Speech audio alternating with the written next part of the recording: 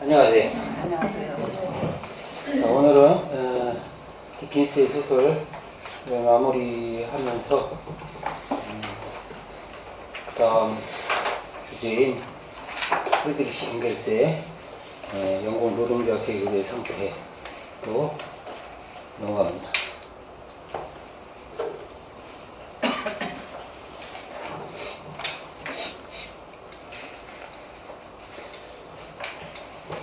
이래서 여러분들 지금 강의 자료집 갖고 계세요? 읽어? 네. 네.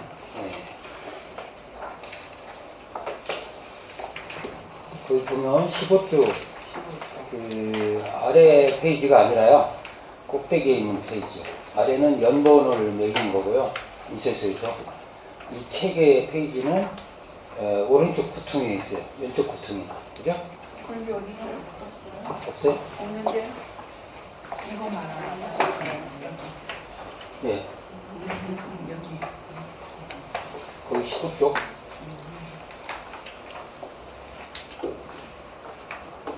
찾으셨나요? 이 네. 책으로는 5쪽입니다. 몇 페이지? 어, 15쪽. 소설로는 15쪽, 책으로는 5쪽. 이 책으로 말씀해 주세요.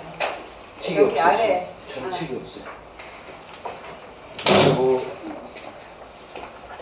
근데 위에도 표지, 페이지, 페이지가 나와 있잖아요. 그죠?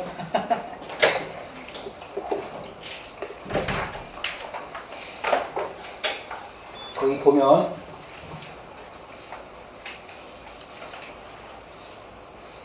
이 지금 디킨스의 스타일이 어떤지를 좀 맛을 보는 거예요. 네, 그러니까 19세기는 리얼리즘의 시대라고 했고 리얼리즘의 대표적인 소설가 하면 영국의 디킨스, 프랑스에서는 발자크, 스탕달 이런 사람들이 있습니다. 에, 러시아에는 누가 있었을까요? 이 전부 현대의 고전이라고 하는데 자 고전하면 옛날 고자를 쓰기 때문에 옛날 그 그리스 로마 시대의 그런 어, 모범적인 전범적인 규범적인 그러한 그 책들을 어, 떠올리는데 현대에도 고전이 있어요.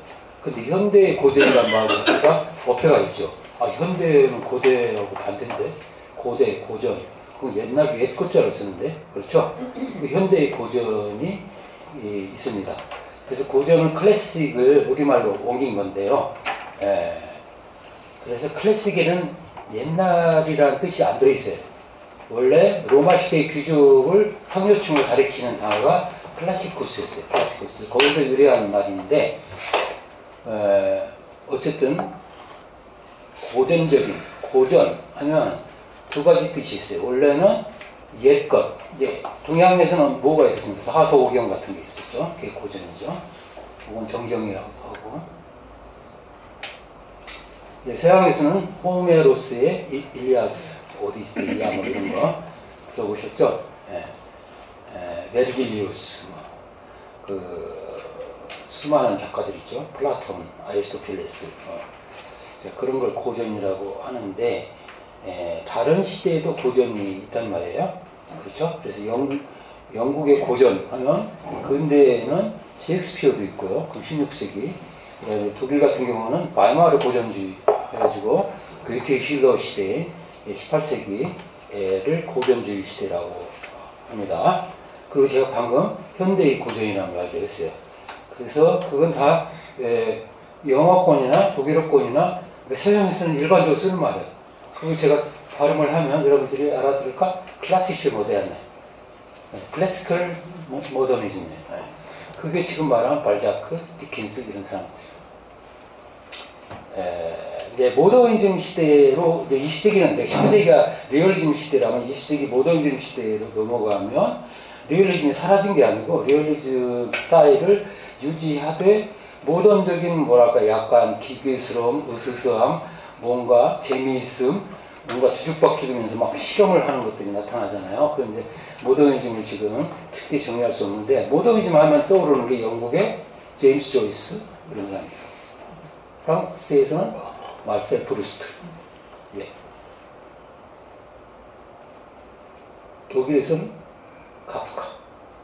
올해가 카프카 아, 사망 100주기입니다. 그래서 유럽 인문 아카데미에서는 지금 기획 특강을 겨울에 에, 준비 중에 있습니다. 아니면 브렉시트 들어보셨나? 이런 사람들. 그러니까 그 고전적이라는 것은 에, 좀 지속되는 시간, 그러니까 장기간 동안의 어떤 문화의 대표적인 전형적인 그 모범적인 작품들로 여겨지는 것들을 총괄해서 고전적이라고 합니다. 네. 그게 더 이제 확장되면 아 그 고전 스타일이야, 아 이거 고전이야. 이것은 아 오랫동안 이것이 표준으로 작용해 왔다는 뜻이 돼가지고 어떤 물건이나 스타일이나 디자인이나 음악, 미술 할 것 없이 모든 것에 예, 다 크게 적용이 됩니다. 제가 어제 고전, 고전과 정전 연구하다가 지금 그 기억 속에 지금 생생하게 남아서 그래서 요새는 고전이라는 말이 너무 옛, 옛구자를 쓰기 때문에 혼동이 일어나기도 하고 그리고 현대에도 고전이 있기 때문에 그래서 다른 말이 고전을 대체하기 시작했어요. 무슨 단어일까? 방금 지금 발음 한 것 같은데 제가 어떤 개념이 고전 개념을 밀어내고 대신 쓰이기 시작했어요. 근데 표준 국어 대사전에는 지금 있지 않아요. 정전. 네? 정전이 맞습니다. 네. 그 장, 정전은 그러면 원어가 뭐냐면 카논, 카논. 그게 이제 책방에 있어 좋네요. 네.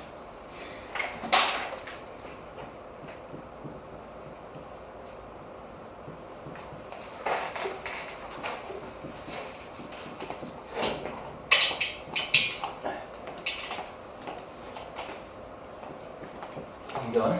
네. 그런데 여러분들 성서에도 보면 이것은 뭐 외경이야. 외경 아니면 뭘까? 내경인가? 그러니까 오랫동안 이게 논란이 돼가지고 이게 진짜 정본이고 이거는 꼭 들어가야 한다라고 이제 회의를 거쳐가지고 여러 번 빠졌다가 들어갔다 하는 것들 있잖아요.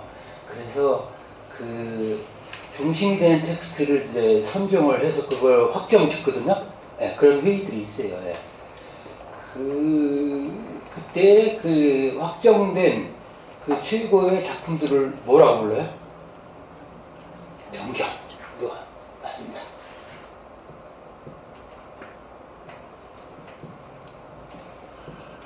정경 이것은 예.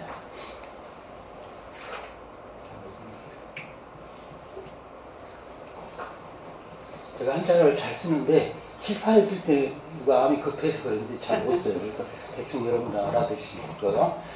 아마 정경과 정- 고전이 합쳐져서 만들어진 것 같아요. 정전이란 말. 그래서 원래 단어는 카논입니다. 카논. 영어로는 캐논. 근데 캐논 하면 뭐 음악에서 카논이라는 그 이름 들어보셨나요? 예, 바흐의 요한 세바스티안 바흐의 예, 카논. 예. 그래서 그 카논이 딱 나오면 그 다음에 그게 바리에이션이 나오죠. 예? 연주곡이 쭉 나오면. 예. 그래서 또 미술에서는 카논하면 인체의 정확한 비례를 또 가리키는 단어예요. 예. 그래서 카논은 잣대, 척도, 어, 그런 기준 이런 뜻으로 오랫동안 쓰여 왔어요. 그래서 그, 그것도 그리스에서 예, 유래한 말입니다. 예, 라틴에서 그대로 넘겨받아가지고 카논 이렇게 돼가지고 그래서 정전이 고전 개념을 대체하기 시작했어요. 그런데도 국어사전은 속도가 느려서 아직도 정전이 등재되어 있지 않은 걸 보고 놀랐습니다. 네. 저도 빠른 편은 아닌데 시대에 따라가는 것도 중요해요. 네. 여러분들 핸드폰은 지금 없이 못 살잖아요. 제가 핸드폰이나 그 뒤에 스마트폰이 나왔을 때 거부감이 심했어요. 네. 근데 어느 순간 이제 쓰고 쓰다 보니까 스마트폰이 없는 삶을 상상할 수 없는 그런 지경에까지 이르렀습니다. 그래서 개인마다 다르긴 한데 예, 이런 전자 매체, 우리 그 매체죠 소통 매체를 거부할 수는 없어요. 이게 필요한 만큼은 받아들여야 돼. 그런데 그런 걸 이용하는 방법을 가르쳐 주는 사람이 주변에 있어야 돼. 예? 아들, 손주, 아니면 모르는 사람. 제가 지하철에서 모르는 할아버지, 그 노- 교통약자 속에서 가르쳐 준 적이 있어요. 제가 막 하다 보니까 그 사람이 막 보고 있더라고요. 근데 뭐 다른 게 아니라 한자를 써가지고 그걸 찾아내는 거 아세요? 네. 그 프로그램. 저도 그걸 어, 다운받은 지 얼마 안 돼서 누구한테 배워가지고 막 열심히 쓰고 있는데 그 사람 딱 보더니만 막 신기해가지고 내가 요령을 막 빨리 가르쳐 줬어요. 그래서 이거 깔아가지고 이렇게 하시면 돼요. 그래서 필요한 만큼은 쓰셔야 한다고. 인문학도 마찬가지예요. 인문학 세상에서 괄시받지만 예, 그 필요한 게 있다. 우리 꼭 비타민 같은 미네랄 같은 게 바로 인문학이에요. 이게 없으면 아무리 뭐 예, 다른 영양 그 탄수화물, 지방, 단백질을 먹어도 부족하죠. 예. 그렇게 비유할 수도 있고 예, 근데 너무 많이 먹으면 또 해를 끼치기도 하고 그러니까 인문학을 너무 많이 공부했다. 왜 해가 될까?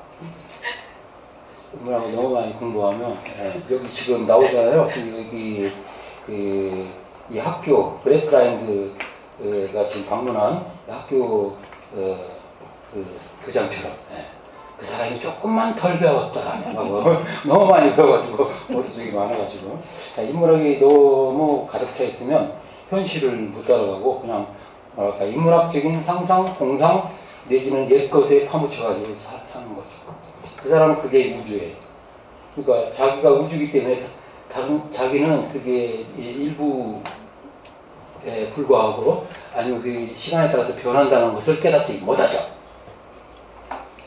그래서 그 사람들은 그 사람은 그냥 그 독일어로는 힌터벨들러란 말이 있는데 저기 뒷산 산골짜기에서 한 10년간 살다 나온 사람 인간 사회와 접촉이 없이 한 20년, 30년 살다가 막 늑대 소년 막 이렇게 늑대하고 막 같이 크다가 나와가지고 적응을 못해. 예.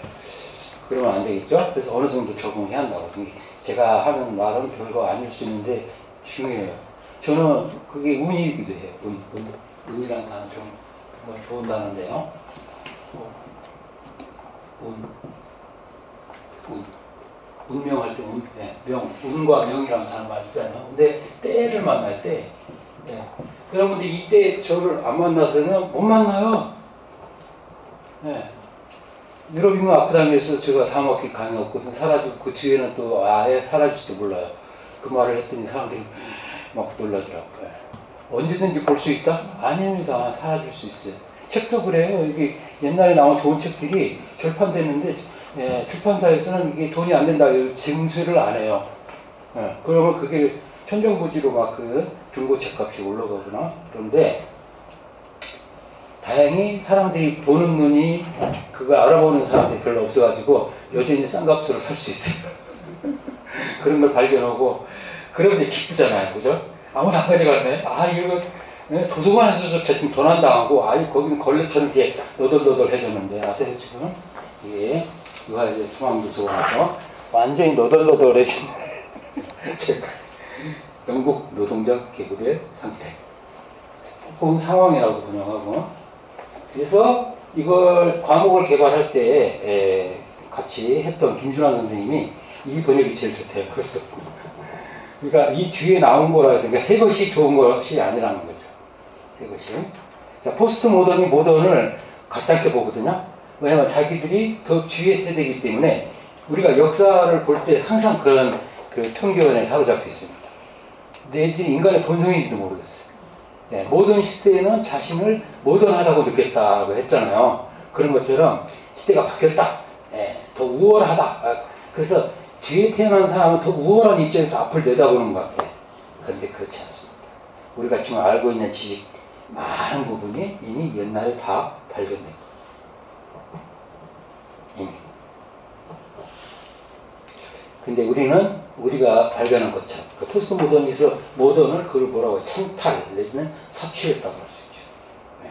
모던에서 이미 다 실험이 이루어졌고 이미 파악된 건데 마치 포스트 모던이 네? 우리는 다양한 다양성을 존중하는 시대야 하면서 다 발견한 것처럼 그래서 모던은 굉장히 경직되고 어, 틀에 갇혀 있고 너무 딱딱하고 너무 질서만 생각하고 효율성만 생각하는 그러한 걸로 매도해버리는 잘못이죠. 그렇지 않고 모던은 예, 끌어오르는 예, 계속 예, 영광로 같은 건데요.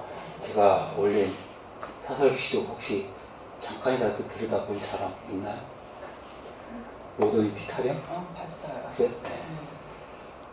그거를 어디 유명한 작가가 썼다. 아, 예를 들어 무슨 음, 무라카미 하루키가 쓴 그 뭐 에세이집에 한 파트다. 그게 이제 번역돼서 나왔다. 문학 동네에서. 예.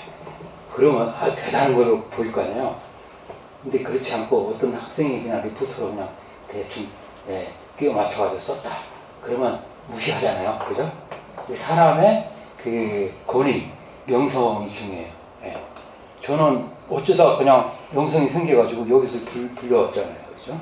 근데 제가 어디 시간 강사하거나 뭐 이렇게 일빌거리고 있으면 저를 불러, 불러줄 사람이 없죠. 예.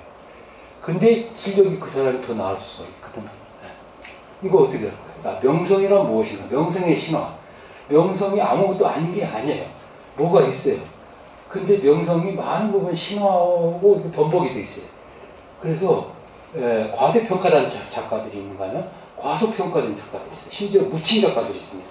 그걸 발굴해내는 것이 비평의 과제죠. 여러분들은 비평이라는 단어 익숙한가요? 요새는 좀 많이 쓰인다. 옛날에 비평이라는 말 거의 안 써가지고 평론, 뭐 무슨 논평 이런 걸 썼는데 비평? 그게 현대적인 단어라는 거예요. 현대적인 단어. 자, 그래서 이런 이야기가 중요할 수도 있고 아닐 수도 있고요. 예.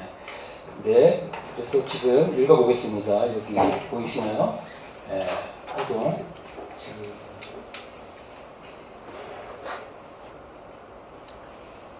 어 여기다 20번 여학생 네.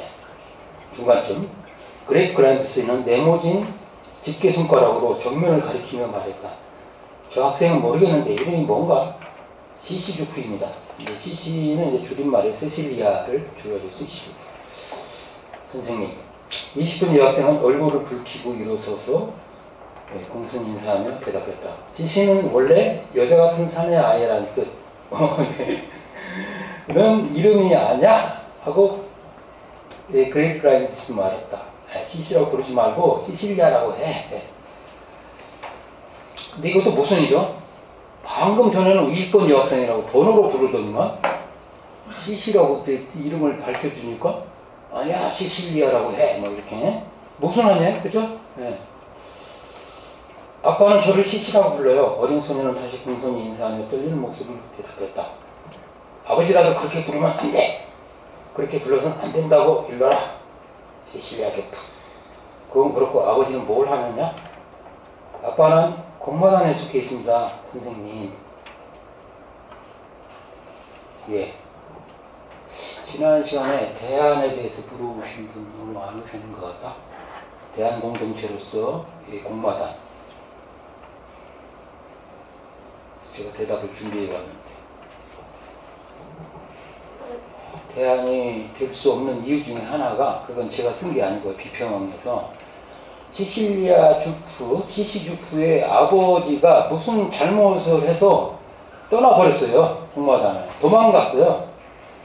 그러니까 이, 이 공동체도 인간애로만 가득 차 있는 게 아니고 뭔가 잘못하면 큰 형벌을 받고 그런 음해가 있거나, 그죠? 뭔가 이게 형벌이 있거나 이렇단 말이에요. 그거 말씀드리려고 했는데 안 오신 것 같아요. 그래서 미화시키지 마세요. 이상화시키지 마요. 물론 여기 그런 측면이 있다. 서로 상호 부조하고 예, 여기 보면 마지막에 토마스가 외국으로 도망가, 도망가는데 곡마단의 도움이 결정적이었거든요. 예, 도와주고. 예. 그리고 이 시시주프가 이제 아버지가 없기 때문에 데려다가 지금 집에 데려와서 그래드그라인드가 키웁니다. 자, 키워주는 건 정말 고마운 일이죠. 네? 네. 이 당시 교육의, 그러니까 국민계 교육이라고나, 그죠? 모든 사람이 교육받을 권리가 있다. 자, 이런 것들이 19세기를 지나면서 이게 뭐랄까, 에, 트렌드가 됩니다. 그건 발전이고, 민주화하고 좋은 일이죠. 계몽이고. 그런데 생각해 보세요. 여기 지금 학생들도 그렇지만 모두 뭘 위해 키워집니까? 이 당시 산업화, 미친 듯이 지금 질주하는 industrialization, 산업화 과정에서 필요로 하는 일꾼들을 양산해놨는데 지금 목적이 있는 거예요. 교육의 목적. 그런 원칙으로 머릿속에 가득 차 있는 게 그렉 그라인드를 비롯해서 여기 선생들이고 그걸 디킨스는 해골 같은 선생들아 너희들 옆에 예, 뭐 인간애를 굶주리고 있는 그러한 사람들이 넘쳐나고 있다는 걸 명심하라 하고 이렇게 예, 한번 읽어줬죠 제가 예, 그렇게 작가가 서술자 화자가 등장해서 경고를 날립니다. 거기 해골 같다 했잖아요. 그러니까 숫자와 통계와 이런 것만 그러니까 유용성 예, 상상하지 마. 예. 그래서 이게 팩트의 세계, 사실만이 중요하다. 사실의 세계 그다음에 그 팬시, 그러니까 또는 이미지네이션, 상상력의 세계. 이 세계가 지금 에, 격돌하고 있어요. 하나는 실용주의, 하나는 인문학 또는 예술, 예, 이런 오늘날 비슷하죠. 예, 그렇습니다.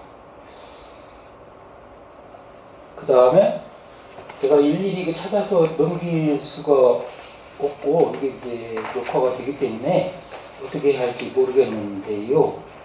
저는 그냥 휙휙 올라가 지나가도 되겠죠? 제가 이걸 그렇게? 해봐요. 네. Thank you. 1인 다역을 다. 그리고 잠깐만 이게 자, 녹음 저, 소리가 자꾸 끊기는데 잠깐 확인만 할게요. 아 이게 이래서 그렇구나.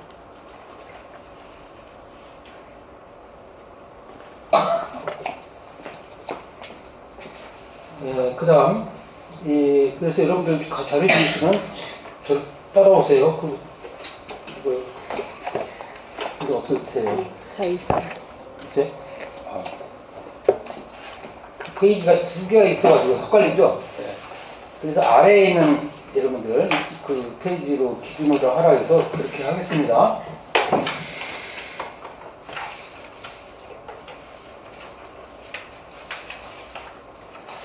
그 다음 17페이지로 넘어가면 아, 또 이거 이 소설로 이야기했네. 아, 아래 이걸로 이야기할까요? 네. 그러면 이쪽인가요? 7조. 네, 7조. 그래서 이제 빗저 있잖아. 빗저는 이게 뭐 어디 묘사가 되어 있죠. 예, 이게, 이게 똑똑한 학생인데 똑똑이. 근데 사실은 헛똑똑이죠. 잘못된 똑똑이를 헛똑똑이라고. 그거 하나 알아두세요. 잘난 체 하는데 저희는 헛똑똑이에요. 지금 헛똑똑이를 양산하는 체제가 우리나라 교육체제고 전 세계적으로 마찬가지. 이 공리주의의 지금 후유증을 앓고 있어요. 헛똑똑이. 거기서 비쩌가 다 대답을 해야 돼요. 말이 뭐야? 하고 정의해봐. 네, definition. 그러니까 시시 주프는 말하고 늘 사- 같이 사는데, 막 곡마단에서 말을 정의하라는 말에 막 혼비백산해. 다 대답을 못해요. 근데 경험은 많이 했어요. 응? 말이 이렇게 막 그 밥을 안 먹고 그러면 금방 알아채요. 얘는 아 그러면 어금니에 뭐가 있나 봐. 근데 보통 사람들은 모르죠. 이 공리주의 교육을 똘똘 뭉친 그거야 지금 빗저라고 뭐라고 대답합니까? 제일 위에 네, 7쪽 제일 위에 네발 점승 초식동물 만개 이빨 중 어금니 24개 성문이 4개 그리고 암이 12개 병철이 털갈이하고 습지에서는 발곡도 빠짐 등등등 그래서 이렇게 답안을 쓰면 100점이죠. 네. 수를 받죠. 근데 CC주표는 그렇게 많이 경험했는데도 답변을 못했으니까 낙제. 그죠? 이런 그 상황을 그 아이러니하게 풍자적으로. 풍자적. 그 다음에, 그 다음은 읽지 않겠는데요. 그 8쪽이 보면 그 이게 말 그림을 벽지로 써서는 안 된다. 상상해서는 안 된다. 이거는 실증적이고 경험적인 지식만이 합리적이고 객관적이다.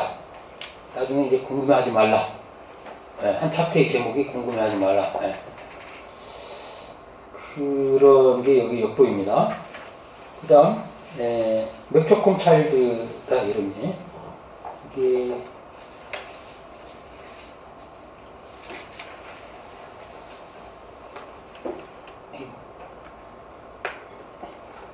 자, 10페이지 보면 제일 밑에 아 맥초콤 차일드는 오히려 지나치게 배운 곳이다 여기 나오네. 응? 그가 조금만 덜 배웠더라면 훨씬 더 잘 가르칠 수 있었을 텐데. 어? 그러면서 그 밑에 예비 수업을 진행하며 그는 40인의 도적에 나오는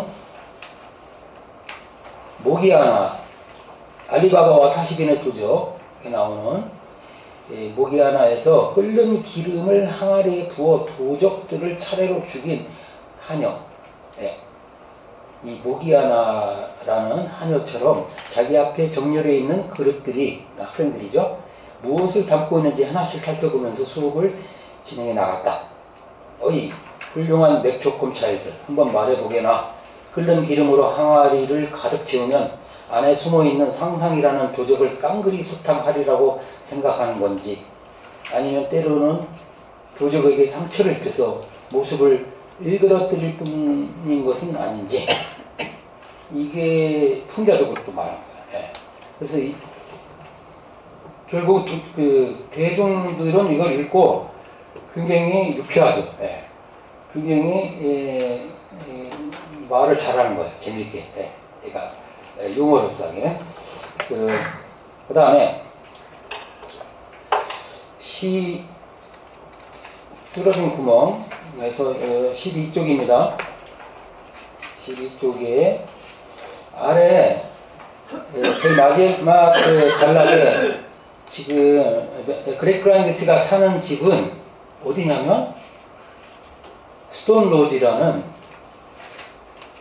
교외. 그래서 스톤 로지를 쭉 묘사하고 있어요. 그래서 공간 묘사도 여러분들이 예, 그, 이 염두에 두면 또 흥미롭습니다. 그 다음 페이지, 13페이지 상단을 보면, 예, 두 번째 줄부터 가스 설비와 통풍장치, 배수장치와 급수시설 모두 최고급이었다. 위에서 아래까지 방어시설이 되어 있는 덩어리 뭐 어쩌고 저쩌고. 그래서 여러분들 지금 다음 예, 꼭지로 다룰 그 앵겔스에서 나오지만 맨체스터나 런던에서 직접 관찰한 것, 그 다음에 그 당시 신문 보도, 예, 그 밖에 여러 통계 자료, 이걸 바탕으로 쓴 사회학적 보고서라고 이제 하는데, 우리는 지금 소설을 다루고 있고, 근데 같은 현실인데요. 예, 앵겔스는 그 현실을 예, 바로 보고서 형식으로 쓰고 있습니다. 거기 주거 상황을 묘사하는 대도시로 사람들이 꽤 모여들죠. 왜? 일자리를 찾아서. 그 다음에 공장을 짓고, 또, 또 자본에 도움이 돼요. 많은 사람이 가까이 이렇게 밀집해 있으면요. 예. 근데 사람들이 살만한 공간은 이제 점점 사라져 버리는 거죠. 아주 열악하고, 통풍도 안 되고, 예, 그 냄새나고 하는 그런 시설이 되는데, 거기 보면, 거기 어딘가의 그림에 그 묘사되어 있는데요. 이게 이제 도시가 이제 점점 더 팽창해 가잖아요. 크- 크는데 이 도시 도심에는 도심에는 에, 뭐가 있을까?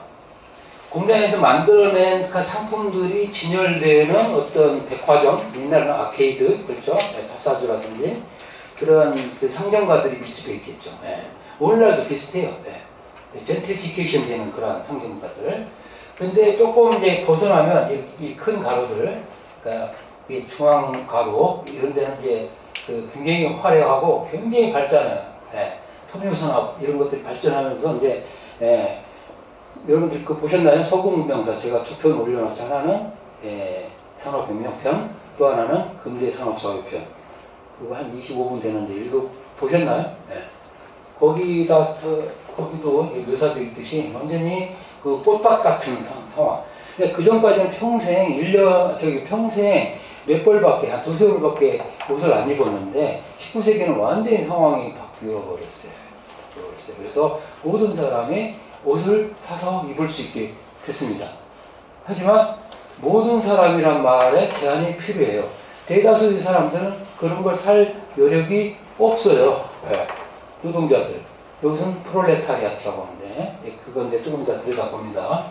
그래서 이렇게 화려한 거리 쪽 안쪽 골목으로 들어가면 여러분들이 상, 충분히 상상할 수 있어요. 예, 서울 그 저기 북쪽 강북 지역에 보면 예, 지금 뭐 어디를 가나 세운산 가나 아니면 그 옆에 청- 청계천 골목으로 들어가면 어떻게 돼? 그게 허름하잖아요. 그 다음에 거의 막 철시가 이루어진 것 같이 막 아무것도 없고 예? 그런 상황을 떠올리시면 좋을 것 같은데 조금 다르긴 하다 여기 이, 이게 그 뒷골목에 바로 노동자들이 밀집해서 사는 거예요. 그 다음에 이들을 이게 집을 세내주고 이제 세를 받아먹는 사람들. 그러니까 완전히, 그러니까 화장실도 하나 가지고 한 열 가구가 쓴다든지. 예. 그 난리 법석이겠죠. 그 다음에 시끄럽고, 그 다음에 같은 침대에서 그냥 예, 자고, 예, 가족 전체가. 예. 이런 걸 지금 묘사하고 있습니다. 대개 그런 노동자들이 밀집해서 사는 거예요. 근데 조금만 이제 밖으로 나오면 화려한 거리가 펼쳐지죠. 그런데 그래드그라인드 같은 이런 부르주아지는 어디 살까? 교외로 가는 거예요, 교외. 예. 그 중에 하나가 스톤로지라는 거. 그걸 묘사하고. 거기는 이제 전원주택들이 예, 아주 번쩍거리면서 서 있죠. 예. 거기는 부자들이 사는데. 예. 이렇게 되어 있습니다. 근데 노동자들이 이게, 이게 왜 이런 데 사냐? 이 공장이 가까이 있으니까. 공장, 공장. 여기 다녀야잖아. 그죠? 그래서 만들어진 상품들은 이 큰 가루로 나오는 거예요. 그 다음에 이들은 은폐되어 있어요. 안 보여요, 밖에서는. 예. 근데 안으로 들어가면 막, 막 어두침침하고 퀴퀴하고 냄새나고 오물로 가득 차고 막 이런 것들이 막 그냥 벌어진 거. 별거 아니에요. 네, 떠올릴 수 있어요? 대도시로 사람들이 계속 밀려오니까 어떻게 돼? 계속 그 땅 투기가 막 일어나잖아요. 그들을 이게 젖자는, 착취하는 임대사업자부터 시작해서 엄청나게 많은 착취, 공장에서 공장들이 착취하고요. 이런 상황을 묘사하고 있습니다. 그래서 조금 더 이제 예, 나가 볼게요. 예, 바운더비 씨 묘사한 몇 페이지를 더 오면 아, 두, 두 개를 다 보려니까 17페이지 아랫부분 이것도 굉장히 풍자적으로 썼습니다. 바운더비 씨하고 이제 4하고 시작했잖아요. 아, 네, 17페이지. 예, 여러분들. 제가 아래쪽에. 전체적으로 풍선처럼 부풀어서 밑에서 한 열, 여덟 번째 줄입니다.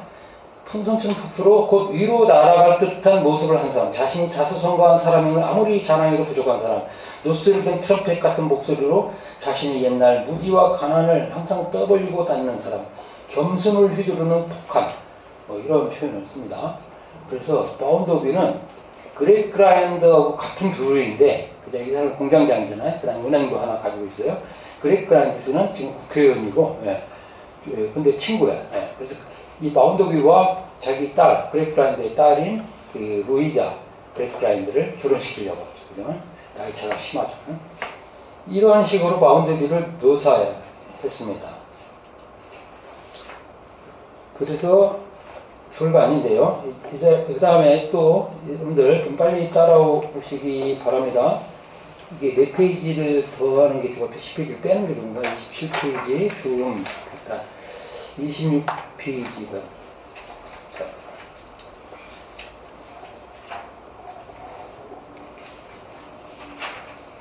25페이지 25페이지 35페이지 예 10페이지 그냥 10을 빼면 될걸. 예.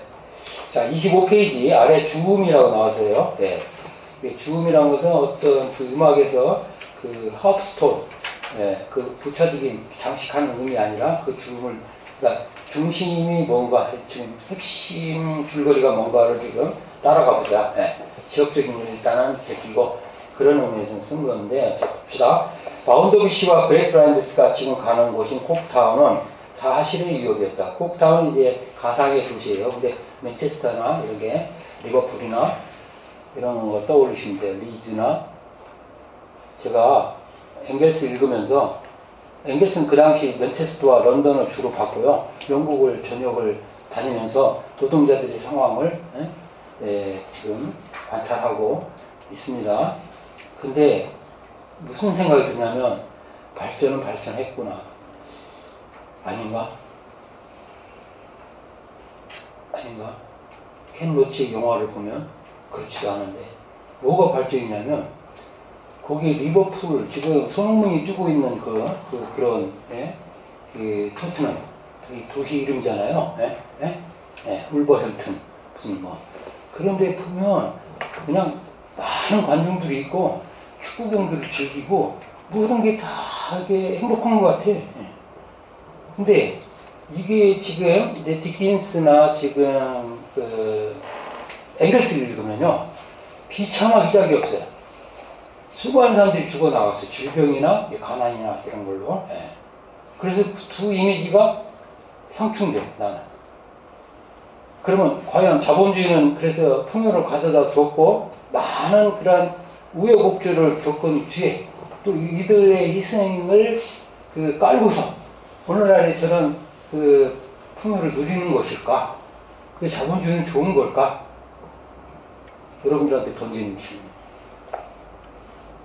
근데 틀림없는 것은 그 우리는 그 화려한 그 관중들의 환호성, 우리나라 그 저기 이 KBO처럼 그러니까 야구 경기처럼 정말 맥주 마시고 치킨 먹고 막 떠들고 막 즐거운 것 같아요. 그런데 이 폐휴지 주는 사람들, 그 우리 주변에는 에, 비가시적인 인비지블 하는 사람들이 많아요. 투명 인간들. 예. 그걸 아무도 보도 안 해. 아무도 하는데 그런 사람 통계 숫자에도 나오지 않을걸? 예. 그래서 제가 꼭, 꼭 극단적인 이 비율을 저기 그런 예를 드는 건 아닌데 우리 주, 주변에 이런 빈민들이 차고 넘치고 있다는 걸 명심하시라고. 예. 우리는 그거를 이, 이 보도를 안 하기 때문에 모르는 거야. 내지는 알고 싶지 않은 거야. 왜 그럴까? 인지상정이. 그 부정적인 거 보고 싶지 않아. 예. 그래서 자 콕타운 봅시다.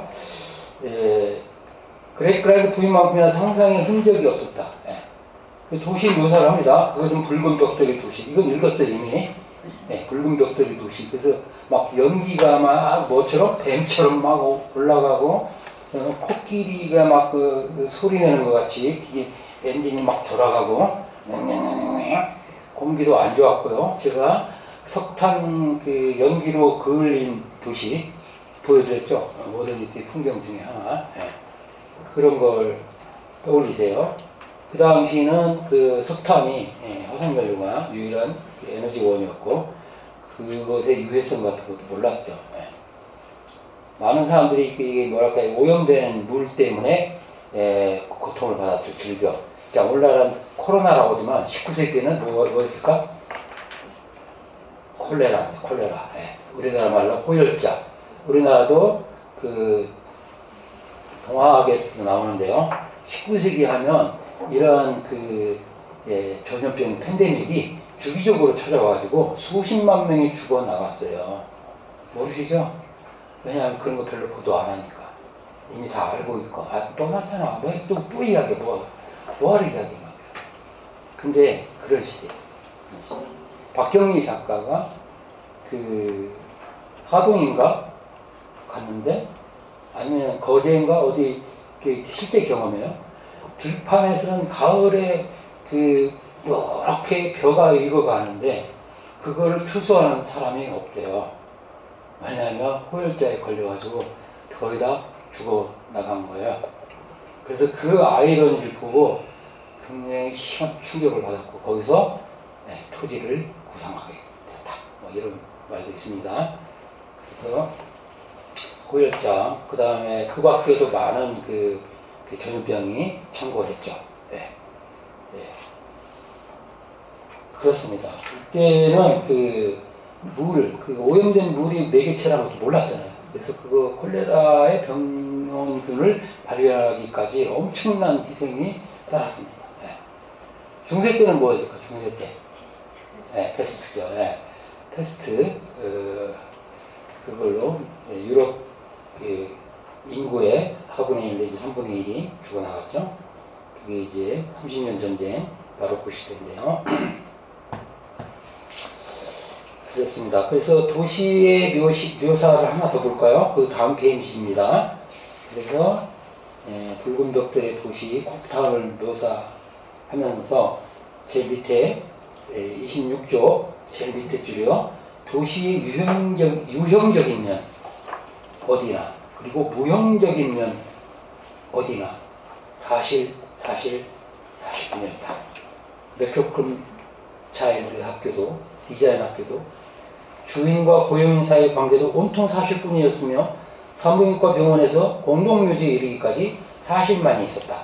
그리고 숫자로 서술할 수 없거나 가장 싸게 사서 가장 비싸게 팔 만한 것으로 증명할 수 없는 것은 존재하지도 않는 거고 존재해서도 안 되는 거였다. 영원히 아멘. 이것도 풍자적이야. 영원히 아멘. 이게 전지적 시점이야. 그러니까 서술자가 독자한테 말을 걸고 그다음에 일어난 사건을 지금 에, 뭐랄까 코멘트하고. 예. 우리나라도 옛날에 그 근대에 있었던 변사, 변사들이 그 무대에서 일어나는 장면을 옆에서 예술과 심순애는 이렇게 만났던 것이었다 막 그- 그러잖아 관중들을 향해서 그래서 그 코멘트하는 그거를 가리켜서 전지적이라고 합니다. 전지가 별거 아니고요 모든 걸 안다. 네.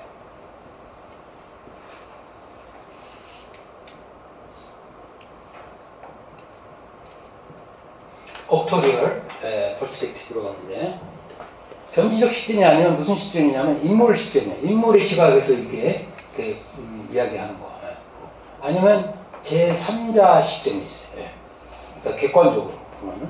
근데 전지는 그 전체를 다 보는 거야. 그래서 복선도 깔고 코멘트도 하고 이렇게 독자한테 말도 걸고. 예. 바운더비 씨가 어떤 사람인지 한번 들여다볼까요, 여러분? 하면서 풍선처럼 부풀어있는 사람이 언제 터질지 모르는 사람이고요. 막 이런 식으로 그, 그 변사 지금 떠오르네. 변사가 그 흥미를 돋우면서 어, 관중들의 그 아주 맛깔스럽게 그 묘사한 그런 걸 떠올리시면 됩니다. 예.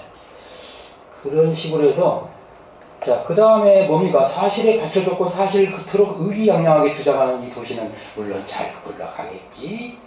아니, 꼭 그런 것은 아니었다. 아니었다고? 맙소사.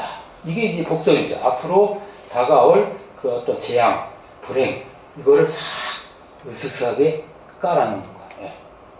그래서 리얼리즘의 자기 모순이라고 할 수 있어요. 리얼리즘은 있었던 그, 거, 사실, 그 객관적으로 주어진 현실을 그대로 예, 가감 없이 묘사하는 것. 그러니까 리얼리즘. 그러니까 리얼리티를 그냥 리얼하게, 예, 다른 상상이나 무슨 뭐에 기대서 이렇게 그, 그걸 묘사하지 않는 거. 그런데 이건 뭐야? 그 화자가 등장해가지고 이러쿵저러쿵 말을 하네. 이건 자기 코멘트인데 주관적인 거 아니야? 이게 리얼리즘이라고 할 수 있어? 맞습니다. 리얼리즘의 모순이에요. 그래서 리얼리즘을 있는 그대로 묘사한다라고 이해하시면 안 되고, 에, 팩트, 경험, 이거 주어진 현실을 중시하되 그거를 전체를 아우르는 것, 못 두는 것, 그것은 화자의 몫이다. 서술자. 예. 그렇기 때문에 리얼리즘을 액면 그대로 받아들이면 안 된다. 이거 제가 리얼리즘의 자기 모순이라는 타이틀로 강의록에 썼습니다. 읽어보세요, 나중에. 그 다음에 공마단 사람들을, 슬리어리 공마단, 어떤지 한번 볼까요? 네, 41쪽입니다.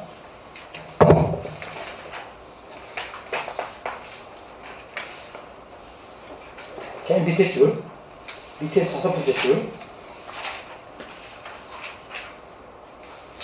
네, 네 번째 줄. 이 사람들에게는 놀랄만한 부드러움과 어린애다움이 있었고 어떤 종류든 약삭빠른 교활한 일을 하기에는 부족, 특별히 부족합성이 있었으며 서로 서로 돕고 동정하려는 지칠 줄 모르는 열성이 있었다. 이것은 이 세상 어떤 계층의 사람들이든 그들이 지니고 있는 나날의 덕성만큼이나 종종 존경을 받을 만한 것이었고 또 언제나 관대하게 해석할 만한 것이었다. 이게 전반적으로 스리어리 공마단의 세계가 지금 공리주의가 지배하는 예, 학교 현장, 지금 예, 일터와는 다른 그러한 대안적인 예, 대척점에 있는 그러한 사회로 묘사하고 있는 건 분명해요. 그런데 과연 이 대한 사회가 그, 대한 사회로서 에, 의미가 있는가? 그걸 제가 약간 비판적으로 부정적으로 이제 에, 강의록에 쓰는 걸 두고 지난 시간에 에, 반발을 하신 분이 계셨는데 그건 해석이 나름이에요. 여러분들 해석이 나요. 그걸 대한사회로 볼 수도 있고 아닐 수도 있는데 제가 아니라고 말하는 이유는 뭐냐면 공마단의 존재는 이미 역사적으로 사멸해가는 어떤 커뮤니티입니다. 여러분들 공마단 주변에서 봤어요? TV에서는 이제 그, 그 매체로 그 1년에 한두 번씩 보도하죠. 그죠? 예, 특별한 날에, 예, 연말이나. 없습니다. 근데 저는 어릴 때 공마단 많이 봤어요, 동네에서. 예. 그래서 제가 그 어릴 때는 그런 기억이 있지만 점점 사라져가는. 근데 그러니까 사라져가는 커, 커뮤니티를 대안적 사회라고 이게 상정하는 것이 타당한가? 거기에 저는 제일 먼저 의문이 들었고요. 그 다음에 아까 말했듯이 이들도 그 자체 내에 생활의 어려움과 폭력과 시련 이런 것들이 다 점철되어 있고 그리고 무엇보다도 지금 산업화 과정에서 이들은 지금 살아남을 수가 없어요. 뭔가 변신을 하든지 다른 다른 게 지금 떠올라야 하는데 이게 하나는 사라져가는 걸 지금 묘사하는 게 무슨 의미가 있나. 그래서 화자가 결국은 지금 디킨스를 이제 가르치거든요. 디킨스라는 작가가 산업사회의 지금 극명한 모순, 이 지금 여기 묘사되고 있는 그 공리주의의 폐해, 이거를 지적하면서 그거 해법에 대해서는 열린 결말로 두든지 아니면 에, 해결할 능력이 없었다고 볼 수 있어요. 그래서 부르주아지의 선심, 그들이 마음을 들려가지고 그렇죠? 노동자를 끌어안고 가기를 바라는 도덕적 호소로 끝나고 있다라는 비판이 주류를 이룹니다. 그리고 노동자들 그러니까 노조에 들어오는 걸 지금 거부했잖아요. 여기 스티븐 블랙풀 노동자가 예. 그것도 비판적으로 봤어요. 노동운동을 폄하하는 분위기가 당시 있었는데 거기에 부채질하고 있다. 예. 노동조합하면 폭력적인 집단이고 예. 굉장히 안 좋은 나쁜 이러한 것으로 묘사한 것은 분명히 선입견이고 어, 그건 잘못된 거다라는 비판도 타- 일부 타당합니다. 그런 비판이 많았어요. 그래서 이 소설의 수용사에서 이게 논란이 됐던 거예요. 어떤 건 잘 썼다. 어떤 사람들은 정말 예, 잘못 썼다. 이렇게 그게 극과 극으로 이게 요- 요동치는 수용사에서 그런 그 소설입니다. 조금 더 나갈게. 슬리어리 곡마단은 뭐 그 다음 페이지 예 이 책으로 몇 페이지? 43페이지. 그거 네, 조금만 참아 도와주세요.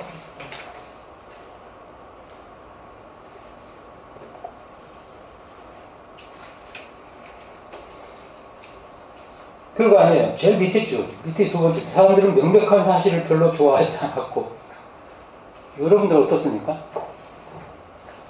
여러분들도 내가 보기에 똑같은 상황이 있어요. 한편으로는 끊임없이 쏟아져 들어오는 모든 통계 자료. 예. 근데 그 통계 자료가 뭘 말해줍니까?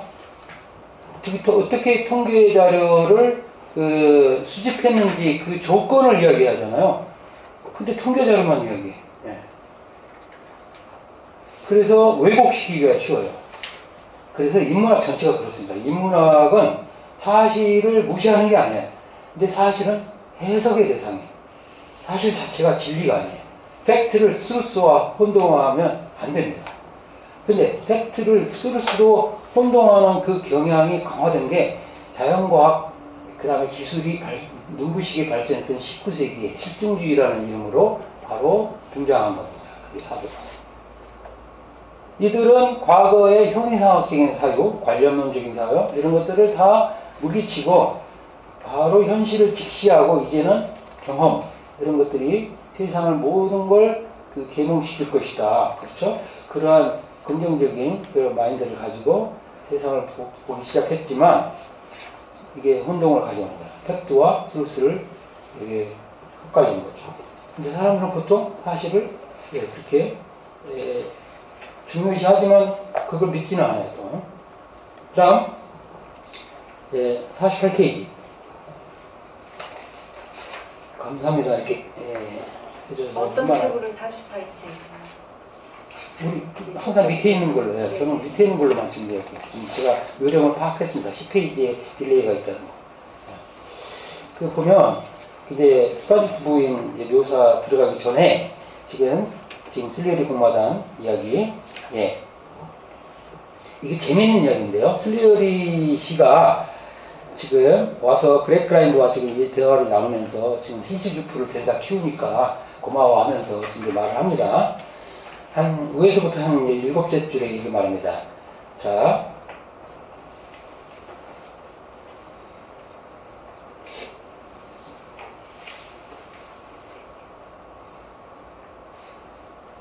지금 이제 방문하고서 이제 떠나면서 이제 CC한테 슬리어리 씨가 지금 하는 말이에요.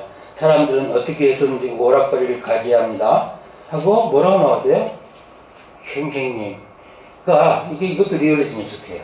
그 당시에 쓰였던 방언이라든지 사람들의 그런 뭐랄까 그그 뭐, 하층민들이 썼던 언어를 그대로 사실적으로 묘사한 거예요. 그래서 선생님하고 이야기를 너무 많이 해서 숨이 찼지만 슬리어리 씨는 말을 이었다. 사람들이 항상 일만 하거나 공부만 할 수는 없습니다. 의를 나쁘게 생각하지 마시고요. 최대한 이용하세요. 평생 공마단으로 생계를 끌어왔지만 우리를 나쁘게 생각하지 말고 최대한 이용하라고 선생님께 말했을 때 이 문제에 대한 천리를 제시했다는 느낌이 드는군요. 여기 보면 다른 데, 다른 데도 전부 이렇게 에, 말 세는 그 표현을 그대로 어, 쓰고 있어요. 선생님 그 대신에. 이게 지금 노동자들, 하층민들 에, 지금 말하는 틀을 그대로 묘사했기 때문에 이것도 리얼리즘에 속합니다. 리얼리즘. 네. 우리나라도 마찬가지예요. 방언을 많이 집- 집어넣게 되면 보다 리얼합니다. 네. 그래서 이 오락의 중요성, 네, 오락이 얼마나 중요한지 몰라요. 네. 여러분들이 인문학을 하잖아요. 지금 일을 하고 있어요? 요- 좀 아니면 여가를 좀 즐기고 있습니까? 네, 둘다 맞아요. 둘 다. 둘이, 둘이가 결합돼 있어요. 네. 노동도 어떻게 보면 그래. 고통이면서 노동의 즐거움이 있어요. 노동의 기쁨. 그죠? 네. 노동은 저주이면서 축복이에요. 이게 변증법이에요. 네. 살려고 하는 자는 죽을 것이요. 죽으려고 하는 자는 살 것이다. 이것도 변증법이에요. 세상 변증법 아닌 것들이 거의 없어요. 모든 것들은 다.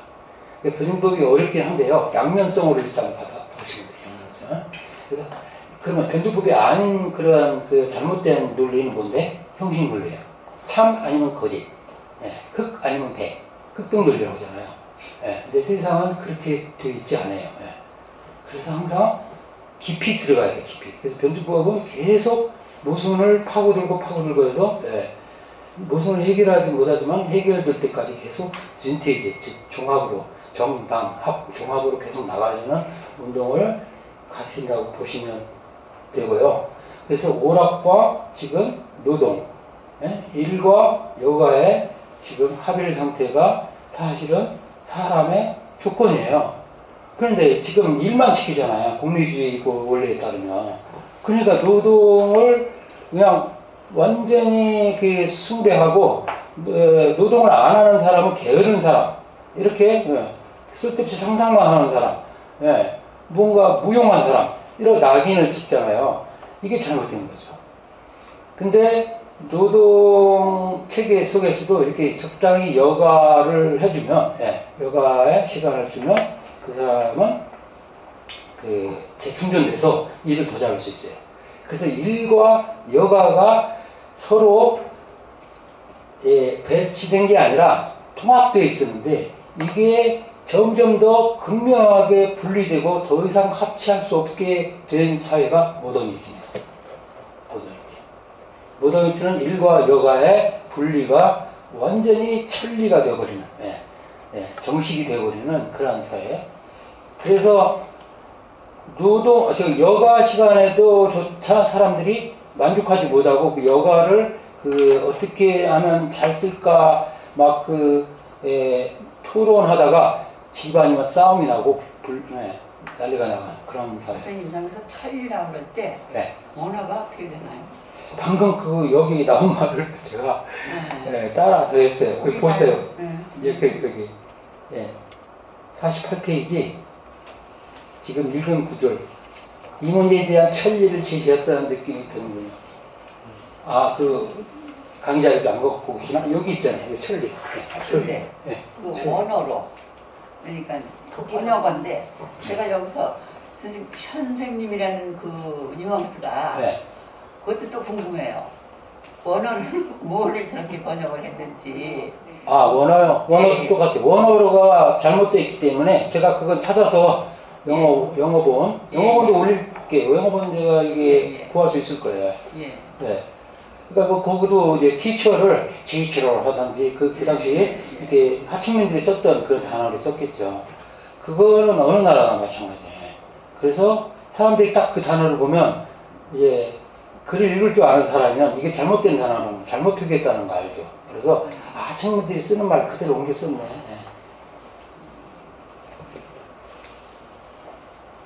예. 네, 잊어버릴까봐 지금 나중에 혹시 잊어버리면 상기시켜 주세요. 네, 다시 질문 네. 있습니다. 단톡방에 올려주시고 예, 예, 예. 질문을 질문을 우리 단톡방에 올려주시고 예, 거기다 올려주시면 아, 네. 제가 안 잊어버리죠.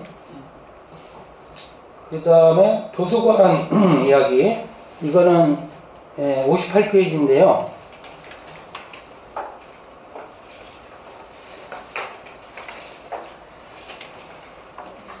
이건 이미 했기 때문에, 그렇죠? 58페이지. 이 콕타운에도, 아니다. 지금 도서관이 어디 있어요, 지금? 68페이지니까 58페이지 맞는데, 맞죠? 예. 예, 중간쯤에 있잖아요. 예. 예. 콕타운에는 일반 대중이 쉽게 접근할 수 있는 도서관이 하나 있었다. 그 나오는 거. 나는 이 기주, 구조를 읽고 깜짝 놀랐어요. 이거 완전히 예, 공민주의만 지배하는 게 아니라 아, 도서관까지 있네. 아, 사람들한테 그래도 편의를 제공하네. 했는데 이게 나오더라고요. 근데 이것도 큰 틀에서 보면 어쨌든 공리주의 원리에 따라 사람들을 그렇죠 산업 여건으로 만드는데 기여하고 내지는 노동자들의 불만을 잠재우기 위한 알리바이로서 만들어 놓은. 제가 한번 이야기, 예를 들었죠. 삼성전자에서 2만 명이 넘는 그 근로자가 있었는데 점심시간에 거기 도서관 이용하는 사람이 나 혼자 아무도 없었어요. 근데 그게 버젓이 있어요, 버젓이. 왜냐면 그게 없다가는 또 공격을 당하거든요. 에, 이- 이놈의 회사 하면서. 그걸 내가 저는 저 혼자 이용하면서 굉장히 그로테스크했습니다. 그래서 그런 거. 그 다음에 이제 60페이지 봅시다. 60페이지. 제 밑에 쭉. 자, 공리주의 교육의 폐해가 적나라하게 묘사되어 있습니다. 톰, 지금 톰, 토마스 그 그래드그라인드, 예, 주니어 톰이죠. 톰의 지금 이 생각입니다. 이 톰이 지금 하는 이야기야. 지금 누나, 어, 루이자하고 대화하는 걸 지금 묘사했는데요. 톰이 뭐라고 말했냐면, 우리가 수없이 이야기를 들었던 모든 사실과 모든 숫자들, 그리고 그것들을 발견하는 모든 사람들을 한 곳에 모았으면 싶어. 톰이 원안에 차서 이를 악물며 말했다. 그러고는 그들 밑에 수천 배로 화약을 설치해서 공중에 모두 날려보내고 싶어. 하지만 바운드의 영광과 함께 지나, 지내게 되면 나는 복, 복수가 돼요. 이겁니다. 이 공리주의로 이게 세뇌를 받은 학생들이 삐뚤어져가지고 복수할 생각으로 지금 가득 차 있어요. 그러니까 아까 노동만 시키고 여가를 빼앗아 버리면 그 사람도 결국은 인간답지 못한 삶 속에서 견디다가 견디다가 나중 폭발하죠. 엥겔스는 그 다음에 나오는데요. 이게 그렇게 해서 쓰러져 가든지 죽든지 아니면 저항한다고 했어요. 저항한다. 저항함으로써 그 사람의 인간성의 최소치를 예, 증명한다. 죽든지.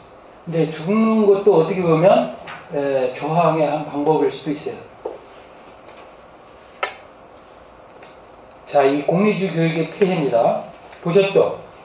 이렇게 모범생으로 자라는 애들이 나중에 빚지면 어떻게 됩니까? 또 이 톰을 이거 쫓아다니잖아요. 그 톰을 그 저기 잡아가지고 경찰에 넘기려고 예. 자기 친구를. 예. 우리나라 영화 친구가 떠오르네요. 예. 서로 이게 막 굉장히 끈끈한 유대로 예? 맺어졌던 줄 알았는데 서로 나중에 죽고 죽이고 하는 그 약간 그 축복이 되는 그런 상황. 그 다음에 음, 66쪽. 그렇게 넘겨줘서 좋네요. 감사합니다.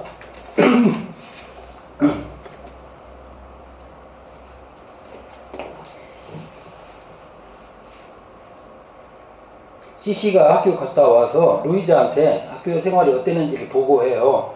그래서 무슨 일이 있었나 수업에서 너무 부끄러워요. 실수했다고 막, 막 고백을 해. 그러니까 루이자가 뭘 잘못했는데 말해봐, 이야기해봐.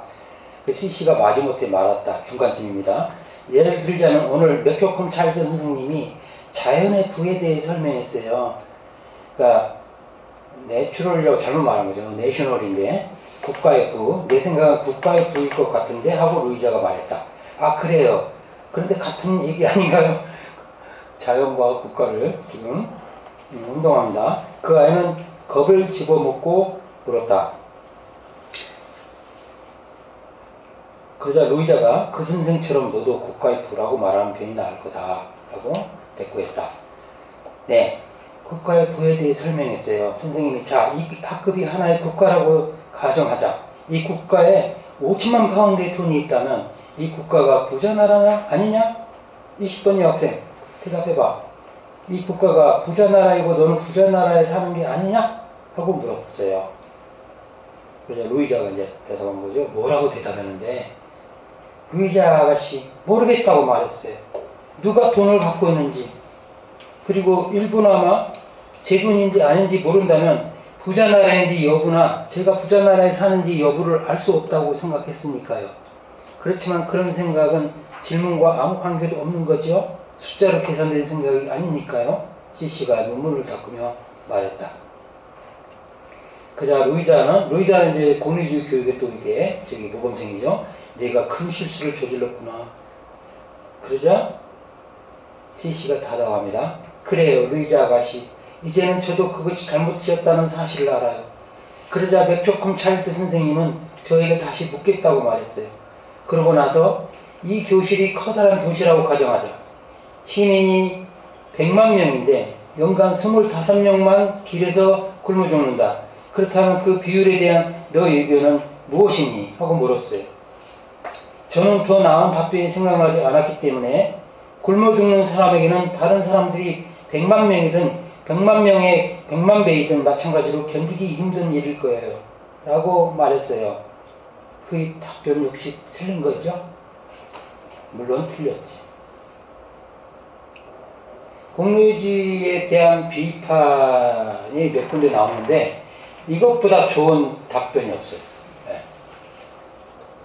자, 우리나라 국민소득이 4만 불 시대로 접어듭니다. 여러분들은 지금 행복하지 않습니까? 예. 부자 나라에 사는 건 아닙니까? 근데 그 사람이 굉장히 가난한 빅민이야. 아무 상관없어. 국가가 무슨 뭐 어, 어, 얼마를 벌든 예? 삼성, 현대, 재벌들이 예, 얼마를 벌고 수출이 어떻게든 반도체가 얼마 팔리고 뭐 양천 안 관심 없어요. 난 내일 뭐, 뭐, 오늘 먹고 사는 일이 좀 걱정이고요. 아니면 제- 제발 좀 저좀 내버려둬. 예. 난 쉬고 싶어요. 일하고 와서 12시간 일 있어요. 12시간. 아니면 택배 기사한테 붙- 붙어보세요. 이거. 뭐라고 대답하나. 저는 택배 아저씨 뭐랄까 그냥 불쌍해서가 아니라 그냥 호의해서 저 주스 한 잔 드시고 가시죠. 아 시원한 물 한 잔 드시고 가시죠. 그 사람들 다 거부해. 바쁘다. 그냥 가버려. 예. 이거예요, 이거예요. 예. 네가 지금 예, 4만 불의 소득이 국민소득이 4만 불인데 살고 있다. 너는 행복한 거 아니냐? 아니에요. 예. 그래서 이 답변을 여러분들은 외워두셔야 돼요.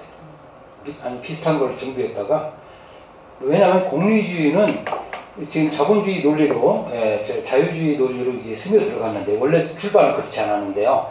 이 논리로 씁니다. 오늘날에도 예. 오늘날 못 사는 사람은 게을러서 못 사는 걸로 뱉어 있어요. 그래서 한쪽에서 슬그머니 뭐 흑수저 금수저 이야기 나옵니다. 두 당론은 극명하게 모순돼요. 흑수저 금수저 이야기는 뭡니까? 부의 대물림, 빈부의 대물림. 절대 바꿀 수 없다. 이 세상에서 나는 루저다. 끝났다. 이런 체험 섞인 절망적인 이야기들을 젊은이들이 하잖아요. 근데 그거는 참혹한 진실이에요. 예. 난 평생 집을 못 살 것 같아. 그 사람이 계산을 못해서 그래? 희망이 없어서 그래? 다 있어요. 희망 고문을 받으면서 계속 그래도 희망을 내가 갖고 살아야지. 근데 계산해보니까 안 돼요. 안 나와요. 예, 부동산의 상승세를 따라잡을 수가 없어요. 예. 그런 거 하면 핑핑 놀면서 계속 잘 사는 애들 많아. 여기 보면 뒤에 핫, 핫하우스도 있고요. 예. 이 뭐랄까 논팽이들. 예. 빚져도 보면 나중에 이렇게 조폭 주목이 될 거예요. 예. 이런 애들. 우리나라도 비슷하지 않아요? 난 모르겠어요. 근데 일단 영화를 보면요, 맨 그런 영화잖아요. 무방비 도시, 무슨, 무슨 뭐 베테랑, 뭐, 뭐, 검사 외전, 전부 그런 사회의 부정의를 고발하는 영화들. 예? 그게 나는 사회 상태를 반영한다고 생각해. 그냥 재미로 만드는 게 아니에요. 어느 정도 반영하고 있어요. 그럼 외국은 어떤가? 외국도 마찬가지죠. 끔찍한 그런 그, 그, 뭐야, 블록버스터 영화들도 보면 다 그런 사회에서 지금 일어나고 있는 폭력을 반영하고 있다. 일정, 일정 정도. 이렇게 생각합니다. 그 다음에 한, 한 두, 두, 두 개, 두세 개만 더 할게요. 84쪽, 아니다, 74쪽. 74쪽에 이 노동자들을 어떻게 부른 줄 아세요? 사람들이 특히 이 중간 계층이나 지금 부르주아들이 네? 여기서 나옵니다. 중간쯤에 펜즈하고 나오죠. 펜즈. 일손들. 근데 우리나라도 오늘날 그렇지 않나? 일손이 부족해. 일손. 어떤 다른, 다른 개념이 있을 법도 한데요. 예. 짐꾼들, 뭐 일하는 사람, 노가다들, 노가다 하나 더 불러와. 뭐 이렇게. 예? 이런 식으로 일손으로. 예. 그래서 신이 그들의 손으로만 그들을 손으로만 또는 해변가에 사는 하등동물 같이 손과 유로만 만드는 것이 적합하다고 생각하였다면 차라리 어떤 사람의 눈에나 들었을 텐데 어쨌든 일손들이라고 불리는 코크타운의 대종 예, 그 가운데 스티븐 블랙풀이라는 사람이 살았습니다. 스티븐 블랙풀이 노조에는 가입하지 않지만 어쨌든 노동자들을 대변합니다. 기가 막힙니다. 예. 그, 그래서 그거를 다 지금 여러분들이 지루해 할까 봐 좀 나가지를 못하고 이쪽에서 이 정도에 생략할까 하는데요. 예. 예. 스테인 블랙풀이 이거를 어, 대변합니다. 노동자들. 노조에는 들어가지 않지만. 그리고 예, 그렇기 때문에 나는 리얼리즘적이 더 가깝다고 봐요. 왜냐하면 스틴 블랙풀이 그냥 노조에 가입해가지고 지금 공리주의가 지금 지배하는 이러한 공장주나 이런 사회 현실에 맞서서 싸우는 과정을 그린 소설이라면 한낱 그런 걸 사회 소설이라고 합니다. 예. 예, 리얼, 그 사회주의 리얼리즘에는 어울리겠죠. 사회 소설. 사회의 지금 중요한 문제점을 소설로 형성했다. 근데 얼마나 지루해. 지루하죠. 예. 왜냐하면 구도가 뻔하기 때문에 전형들을 데려다 놓고 싸우는 그 그런 그 스토리를 만들어내는 게. 근데 스티븐 블랙은 그 비껴나거든요. 노조에 안 들어가 있어. 근데 노동자를 대변해. 그러면서 성실하게 사는데 자기 부인은 예, 예, 고주망태가 돼 있어요. 그래도 레이첼이라는 사람하고 또 사귀어. 근데 이혼하고 싶은데 원래 처하고 이혼을 못해. 이혼법이 있어요. 돈이 있어야 돼요. 뒤에 나오거든요. 바운더비가 그 대답을 해주거든요. 이혼할 수 없다고 이 나라에서는. 그러니까 이혼도 못하니까 너는 그 상태로 죽어라 이런 뜻이에요. 그래서 이거는 과정이 아니에요. 과정. 소설적 과정이 아니라 현실을. 제가 좀 찾아봤는데요. 이혼법 같은 그 당시 보면 절대 예, 무산계급에게는 이혼의 자유가 허용하지 않, 되지 않았을 뿐만 아니라 가톨릭, 엄격한 종교적인 틀이 또 그걸 허용하지 않았어요.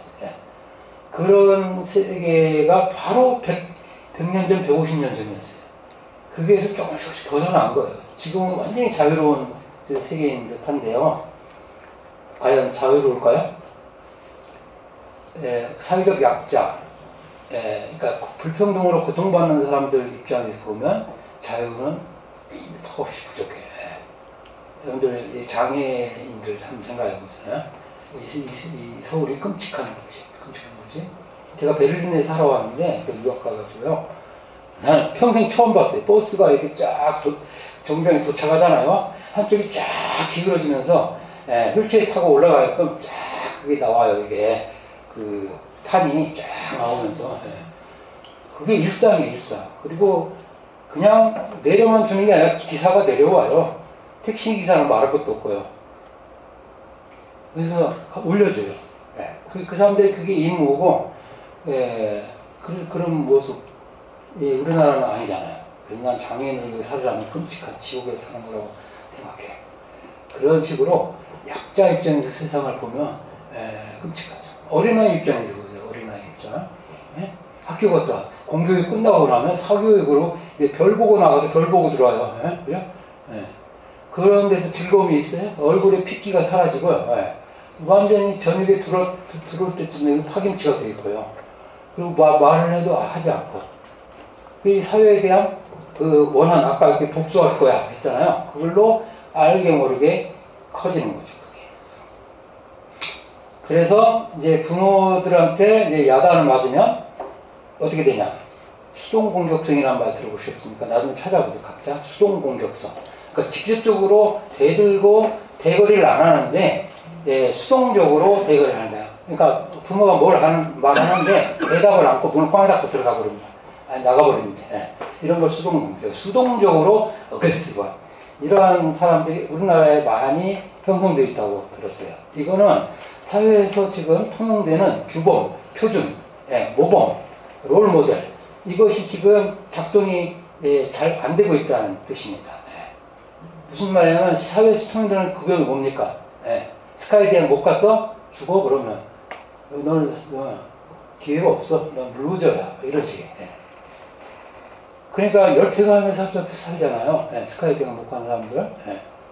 이런 이런 그 사회 분위기 속에서 어떻게든 로스쿨 가가지고 나는 내 성공할 거야. 예. 독일에서 내가 독일어로 된 한국 사회를 보고하는 어떤 잡지의 한 칼럼의 한 부분이었는데 한국인의 상황을 그리고 있어. 고시촌에 살아가는 어떤 젊은이 젊은 남성을 그리고 있는데 그, 그 인상적인 구절이 나는 이번 시험에 떨어지면 죽, 에, 죽음밖에 없어 이렇게. 그러니까 어떤 시험은 떨어질 수도 있잖아요. 예? 어? 수능 시험 보는 날은 내가 무슨 뭐좀 잘못해가지고 또 버스를 잘못 타가지고 거꾸로 가가지고 못 본다든지. 근데 걔는 인생이 날아간 거야 그걸로. 이거는 예 한마디로 폭력이죠 폭력. 예. 사람한테 더 이상 기회를 안 주는. 예. 한번 아팠는데 그래서 결근했는데 잘렸어. 이건 이보다 더 큰 폭력이 없습니다. 예? 내가 잘못한 것도 아닌데 뭐 그렇게 돼버리는. 그래서 제가 좀 극화시켰는지 모르겠지만, 예, 항상 그 반대쪽 입장, 역지사지 입장에서 보면 그렇지 않다. 사회적 불평등은 우리가 생각하는 이상으로 많이 그 내면화되어 있고, 예, 이게 팽배해 있다.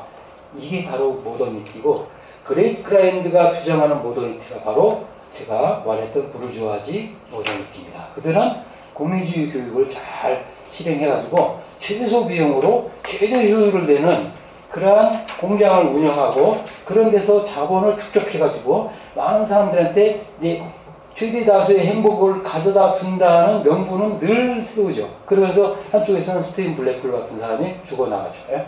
그거는 이제 언급하지 않죠. 침묵하죠. 침묵하면서 그래서 중간 계급이 점점 사라지고 양극화된 프롤레타리아트와 소수의 부르주아치, 다수의 프롤레타리아 이렇게 양분되는 사회의 모습을 보겠습니다.